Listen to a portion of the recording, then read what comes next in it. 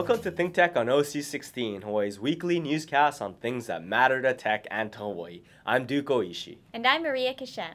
In our show this week, we'll cover HVCA's 2013 Entrepreneur and Deal of the Year Awards luncheon at the Plaza Club. Beside the awards, we heard a very provocative speech on the subject of entrepreneurship by Dan Freedman, a very successful serial entrepreneur. Everyone learned something from that speech, so here's what he said. Actually, you may want to make notes of the advice he gives. I'd like to talk a little bit about the things that I wish I'd known back when I was getting started as an entrepreneur. So I started to make a list. And uh, that list, unfortunately, was so long that I think lunch would stretch into dinner. so you'll be, you know, those of you with afternoon appointments will be pleased to know that I've narrowed it down to about five rules of thumb Rule of thumb number one is uh, if you're an entrepreneur, please start the right business, not the wrong one. but of course, the question is how do you know which one is which? And uh, it's difficult. There's some people who decide they want to be entrepreneurs, and it's the hardest thing for them to figure out, you know, what to do. What business should I start? You know, should it be a restaurant? Should it be a shoe store? Should it be a software company? And if so, you know, in what area?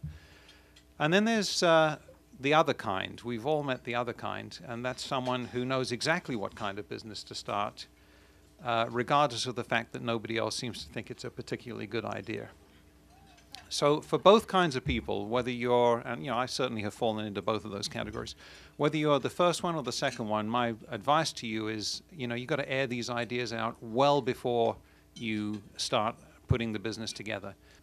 And when everybody tells you they have the same problems or they want the same things, then you've got a business. I mean, of course, you have to be able to provide whatever it is that they want. So, you know, um, it, it has to be tempered by that. But that's rule of thumb number one is, uh, you know, air your ideas out, let the customers or potential customers invent the new business for you. Rule of thumb number two, uh, based on, on my experience, is please have a business model where everything has to go wrong before your business fails. Whereas what we see all too often is a business model where everything has to go right before your business succeeds. I want to be involved in a business that's bulletproof, where the business model is robust, where dozens of things can go wrong and we still get all the way through to there being a, positive outcome for the business. Unfortunately, we see the, the, the, other one far too often. Rule of thumb number three is don't un- underestimate just how hard it is to tell the world about your wonderful product or service. And what I mean by that is so many times we have these great entrepreneurs. Uh, let's say it's in software, which is my field. So they're a great programmer and they've noticed what customers need. But then they build the product because they're very talented and they forget to tell anybody about it. And so they put themselves in a position where people buy the competitor's product without first having rejected their product. And that's a sign you have not done your marketing right. If business is like a game of cards, then having a great product is like putting the ante on the table and sitting down to play a hand. If you don't have the ante, you can't play cards. If you don't have the product, you can't play business. But putting down the ante is not the game. The game is in the sales and marketing. So, uh, I find often, and I was again a great example of this, um, entrepreneurs really just underestimate the amount of effort and the differing kinds of skills that are required in order to uh, to get their product out there in front of the world. Rule number four: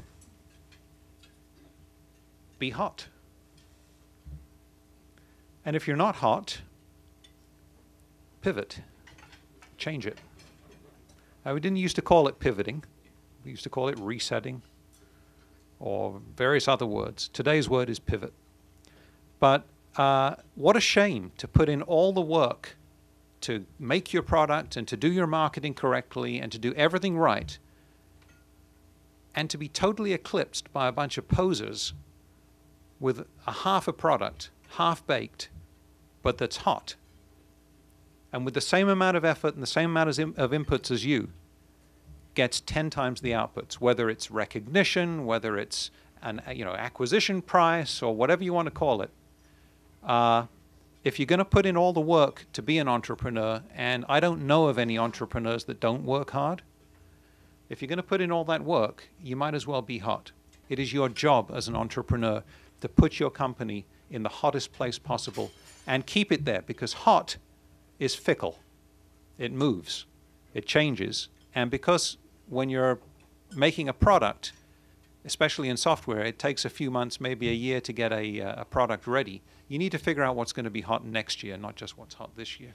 And if you're wrong, you need to fix it. So, rule number four be hot. A rule number five is slightly different, it's the last rule. Uh, it's the rule you need to follow if you want any deal to ever get made. If you're closing a financing or you're trying to recruit somebody to be a new senior management executive of, at your company or a board member, uh, or a senior customer that is uh, going to you know make the deal with you that's going to put your company on the map. Some of you have heard me say this before. The closer they look, the better it needs to seem. And what I mean by that is you need a pitch in order to get in the door. And if your pitch isn't good, you won't get in the door. So, yes, you need a great pitch. But whatever bluff you've used in the pitch, you need to carry it all the way through until the deal is closed. And in fact, if you if you want to have a reputation in the industry that spans more than one company, as as I would hope that you do want that, after you finish with that bluff, then you need to deliver. And that's the trick is picking the bluff. We all do it, okay? But we need to deliver as well. Maybe you say, well, my business model doesn't make sense if I'm conservative. Well, then, you know, let's go back to rule one, okay? Let's start the right business. Start the business that is tolerant of your, well, that, that, that start the business that um, was invented by a lot of customers or potential customers, so you know that it's going to be something that they need and that is tolerant of failures and uh, that is reasonably hot. And the closer that people look at it, the better it gets. After Dan Freedman's remarks, Bill Spencer presented five Entrepreneur of the Year awards. Our first award goes to the Young Entrepreneur of the Year. Um, you'll see what I'm talking about when he gets up here to accept his award. This gentleman is the co founder and CEO of Volta Industries, LLC.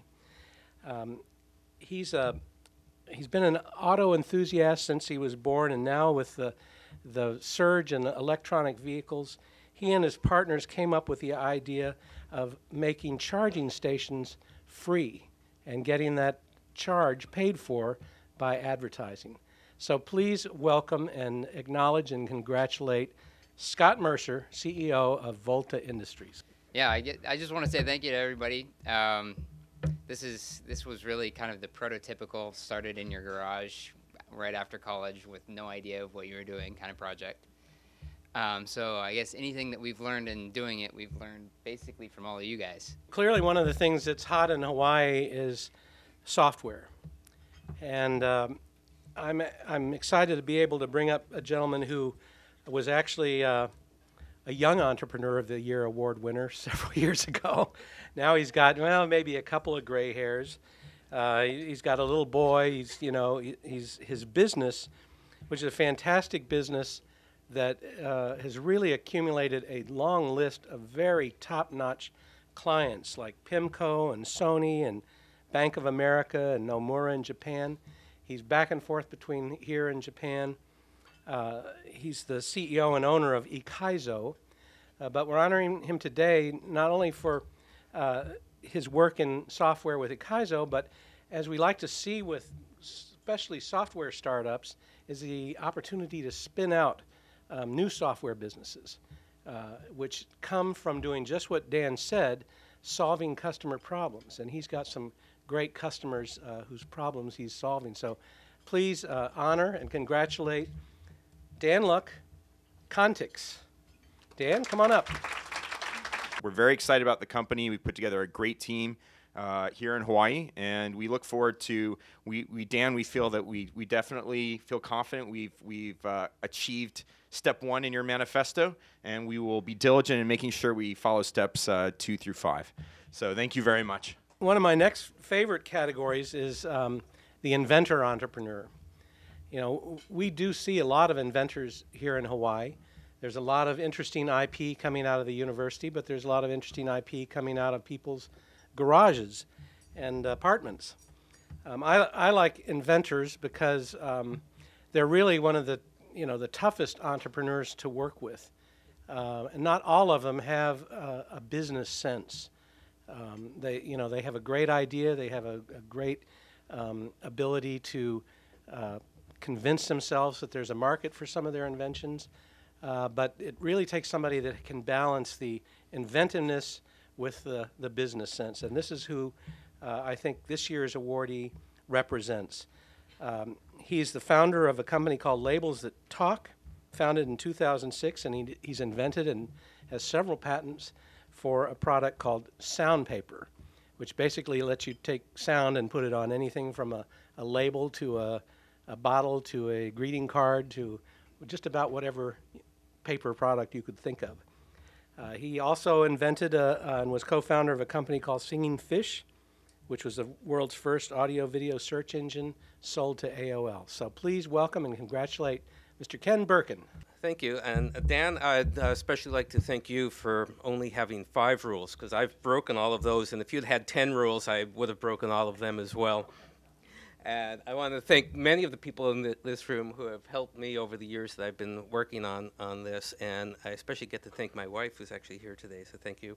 Our next entrepreneur is uh, in the category of socially responsible entrepreneurship. Uh, if you hadn't noticed, this is one of the biggest and fastest growing areas of uh, finance. That is to say, financing uh, socially responsible ventures. And we have a, a, number of social entrepreneurs here in Hawaii. And today we're going to honor a, a young woman who unfortunately cannot be with us um, because she's in San Francisco pitching her business to uh, a demo day, right? Pretty soon. Two weeks. And uh, she's part of an accelerator process in Silicon Valley that, that Blue Startups is modeled after. And she's been part of that. Um, she's a former Peace Corps volunteer, worked as a global tea ambassador in Kyoto, Japan with the International Tea Farms Alliance. Um, she made a lot of connections, and now uh, she saw the benefit of commercializing and helping these small farmers get their products to market. And so I'm going to play a little uh, video of Elise Petersen. Thank you to the Hawaii Venture Capital Association for this amazing honor. I'm so sorry that I can't be there today, but I'm happy that my mom is there to accept the award. Please welcome her mom, Mary Petersen. I know Elise just wants to thank everybody for this. Another category that, um, that I enjoy and really uh, represents uh, entrepreneurship, the sort of long-standing entrepreneurship, if you will. Uh, these uh, uh, award has gone out to folks who've really spent the better part of their uh, careers and life focused in, in a particular area and, and working very hard. You know, entrepreneurship is not an overnight success kind of thing. Uh, some people do have that uh, happen to them, but for the most part, it just takes a, a lot of work, a lot of hard work, and a lot of persistence.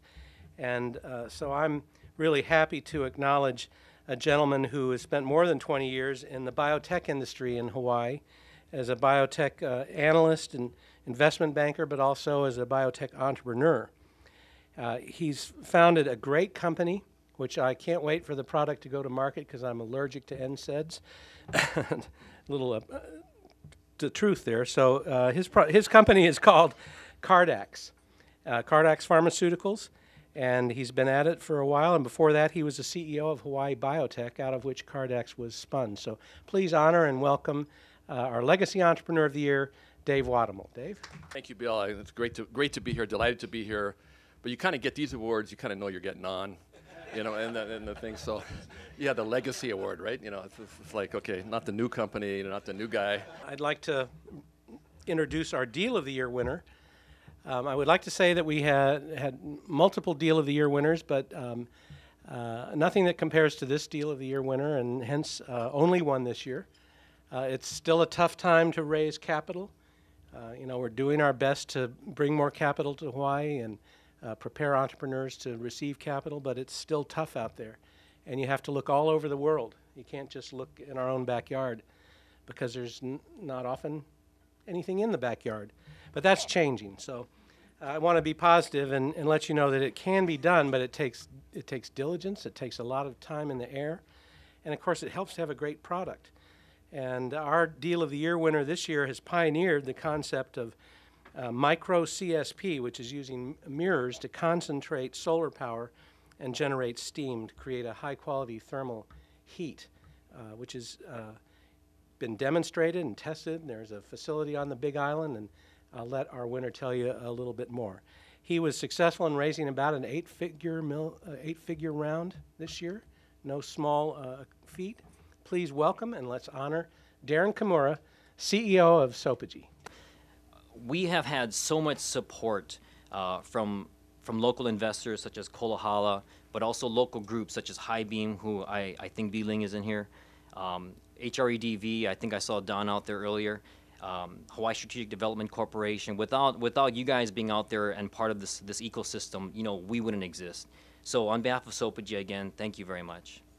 Then Bill Spencer presented the Deal of the Year award to Darren Kimura of Sopogy. As you could see, the award winners were all delighted to receive their awards, and the attendees were delighted to share the moment. These HVCA award luncheons are a great coming together for entrepreneurs, deal makers, and the tech community in general.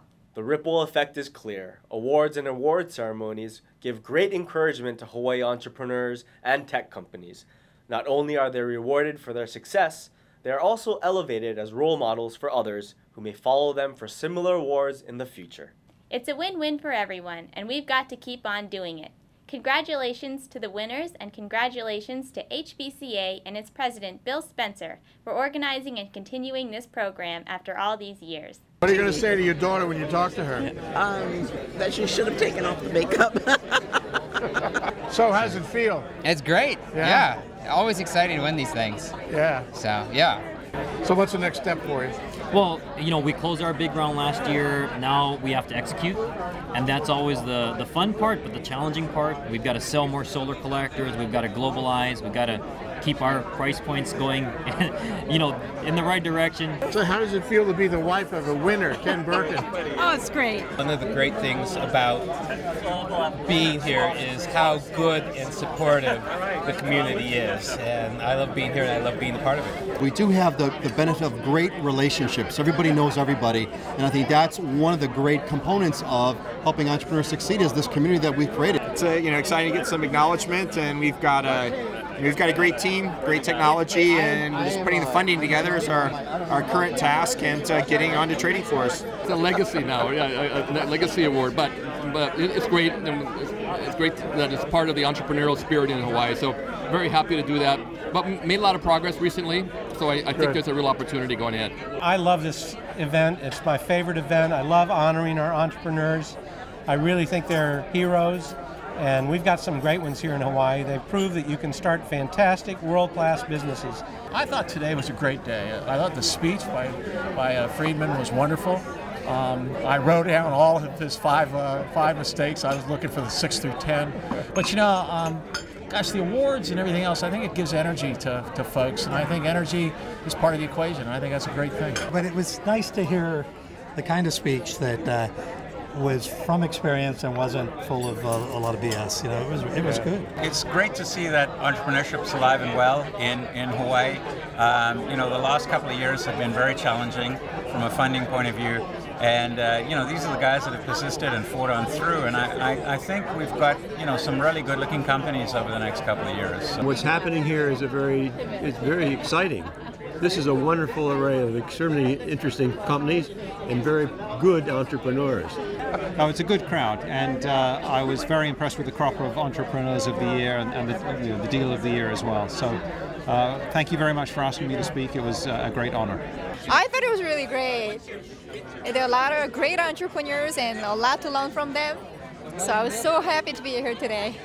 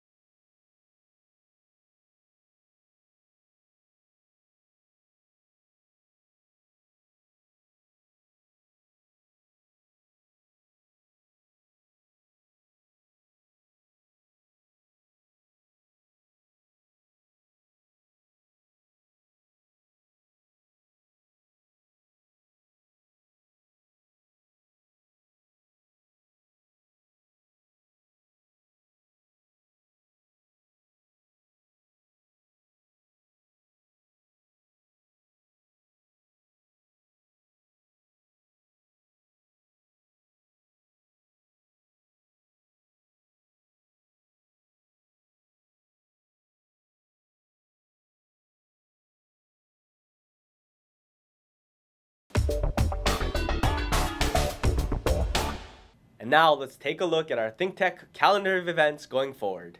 Think Tech's 4 to 5 p.m. Drive Time radio series on KGU 760 AM continues this week.